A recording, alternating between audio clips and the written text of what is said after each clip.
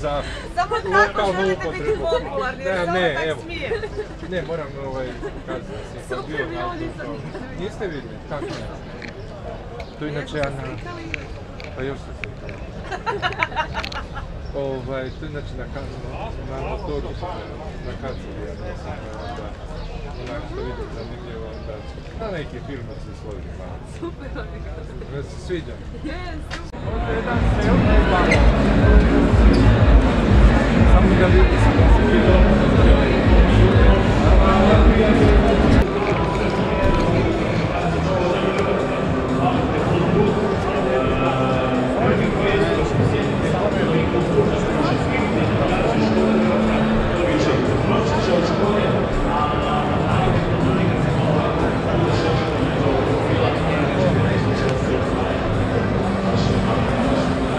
Padnete dolje, se dobro držite. Da, da.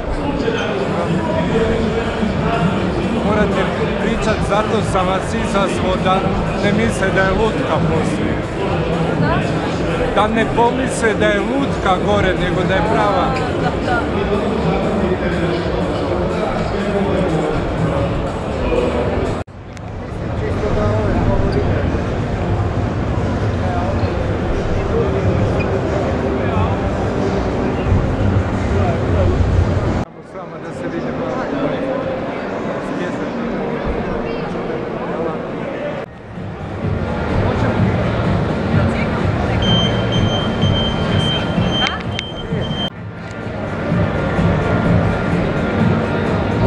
Može smješak jedan.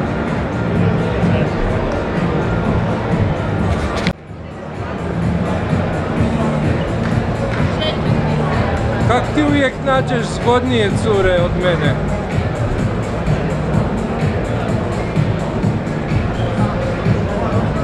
To je samo zato što imaš veći objektiv. Nije moja dečakinja, ali od ženine A, sestre. onda dobro. Na YouTube, ako se budete smijali, ozbiljno. Inače, samo za Samo tako lokalnu upotrebu. popularni, jer Ne, se ne, tak evo. smije. Ne, moram ovaj kazati da Super, bio na vidjela. Niste vidjeli? Kako ne? To inače ja na... Pa još se slikao. Ovaj, to inače na kazu, na motoru, na kazu ja nisam, onda, onak što vidim zanimljivo, onda, na neki film se svodi malo. Super, se sviđa. yes.